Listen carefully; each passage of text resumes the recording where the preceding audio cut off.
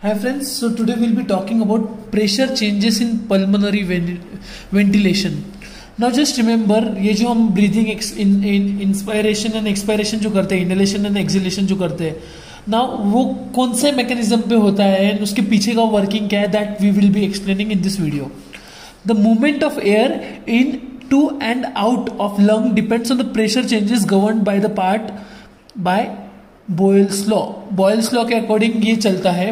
And now जो इन to and out जो flow होता है लंग्स के अंदर जो एयर का फ्लो होता है depends on the pressure right so according to Boyle's law pressure is inversely proportional to volume at a constant temperature मतलब प्रेशर अगर इंक्रीज हो रहा है तो volume is going to decrease so इसको इन डिटेल हम देखते हैं। नाउ अगर I am talking about inhalation inhalation is inspiration right occurs when alveolar pressure falls below atmospheric pressure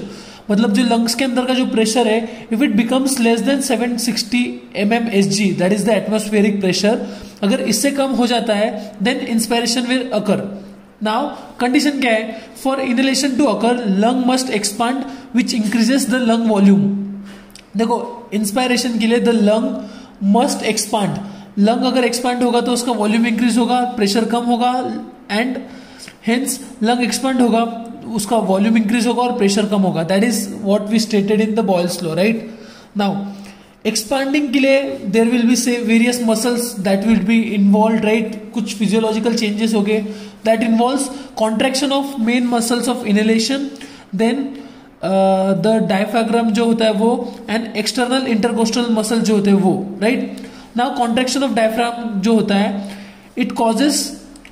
अभी फ़र्स्ट इसमें डायफ्राम जो होता है, वो कॉन्ट्रैक्ट होने वाला है राइट उसकी वजह से इंस्पायरेशन होगा। So it causes it to flatten मतलब जो मेरा डायफ्राग्राम है ना, उसका कॉन्ट्रेक्शन होने की वजह से क्या होने वाला है? वो फ्लैटन होने वाला है, उसका लोअरिंग जो डोम होता है मतलब वो फ्लैट होने वाला है। अगर वो ऐसा इनिशियली तो वो ऐसा इसमें फ्लैट होने वाला है right so it causes it to flatten lowering its dome leads to increase in vertical diameter of the thoracic cavity मतलब जब डायफ्राम जब नीचे आएगा ये मैं आपको एक डायग्राम के थ्रू एक्सप्लेन करूँगा आगे part in the further part of the video so यहाँ पे क्या होगा, एक वर्टिकल डायमीटर जो होता है vertical diameter of thoracic cavity is going to increase during normal inhalation diaphragm जो होता है descends to one centimeter producing pressure difference of one two three M M S G and inhalation about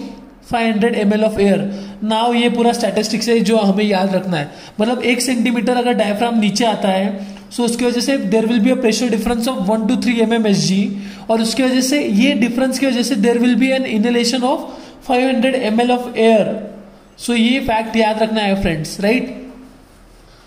now then contraction of diaphragm जो होता है is responsible for about 75 percent of air that enters to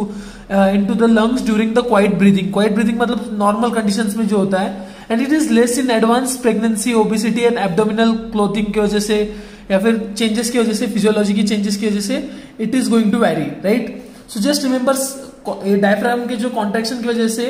it will lead to 75 percent of air in to the lungs then contraction of external intercostal muscle जो होता है it elevates the ribs ribs के ऊपर जाने की वजह से it will result in increase in anterior posterior and lateral diameter of chest cavity obviously diameter अगर इंक्रीज हो रहा है यहाँ पे राइट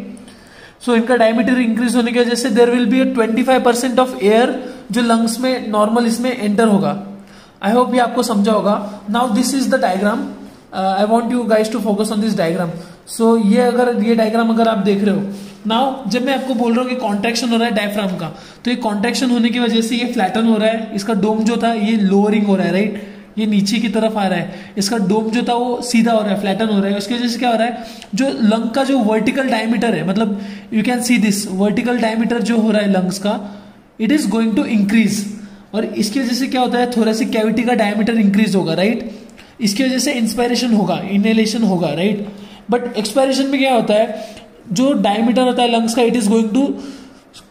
reduce right इसका डायमीटर डिक्रीज होने वाला है और जो डायफ्राम है उसका देखो अगर अब ये डोम शिफ्ट हो रहा है राइट ये डोम शिफ्ट होने की वजह से